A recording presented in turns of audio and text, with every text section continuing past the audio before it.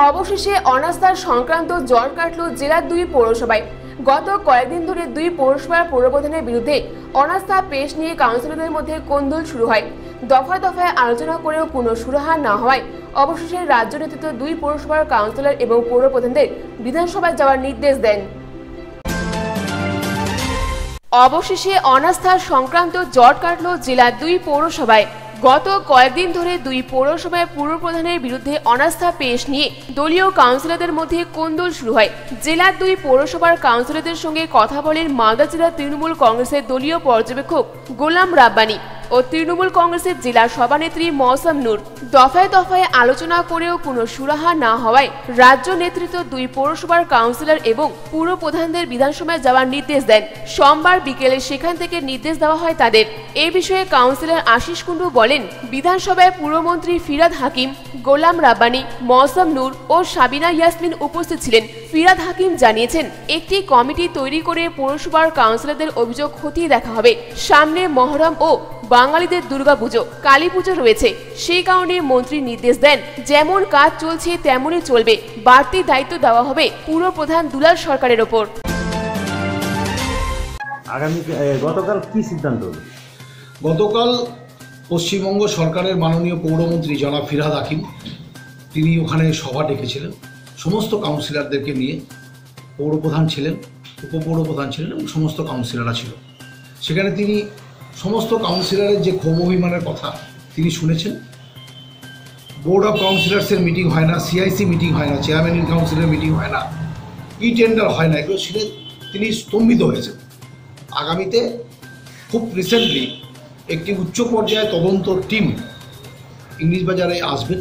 তারা তদন্ত করে সমস্ত রিপোর্ট মিউনিসিপ্যাল অ্যাফেয়ার ডিপার্টমেন্টে জমা দেওয়ার পরে রাজ্য এই আমাদের ইংলিশ বাজার পৌরসভার ব্যাপারে সিদ্ধান্ত গ্রহণ করবে এখন কীভাবে চলবে ফর দিস টাইমিং উপপৌর প্রধানের নেতৃত্বে চেয়ারম্যান ইন কাউন্সিলের যারা মেম্বার তাদেরকে নিয়ে একটি বিশেষ টিম তৈরি করে পৌরসভাটা পরিচালনা করার জন্য তারা নির্দেশ দিয়েছে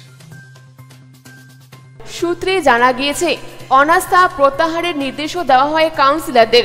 ইংরেজদের পৌরসভার কাউন্সিলর শুভময় বসু বলেন সমস্ত কাউন্সিলরদের নিয়ে বিধানসভায় আলোচনা করেন মন্ত্রী ফিরাদ হাকিম। তিনি নির্দেশ দেন মহরম, দুর্গাপুজো ও কালী পুজো পর্যন্ত এভাবেই পৌরসভা চলবে। দুই পৌরসভাতেই একই নির্দেশ দেন তিনি।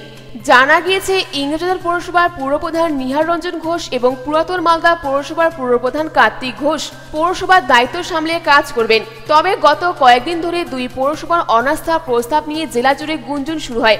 যদিও অনাস্থা যে কাউন্সিলররা চেয়েছিলেন, তারাও বলেছিলেন, দল যা সিদ্ধান্ত নেবে তা তারা মাথা পেতে নেবেন। অবশেষে দল নির্দেশ দেয় দুই পুরপ্রধানকে কাজ চালিয়ে যেতে। তবে মন্ত্রী ফিরাদ হাকিম কাউন্সিলরদের জানিয়ে দিয়েছেন দুই পৌরসভা থেকে যে অভিযোগ উঠেছে তা দেখার জন্য একটি দল দুই পৌরসভায় গিয়ে তদন্ত করবে।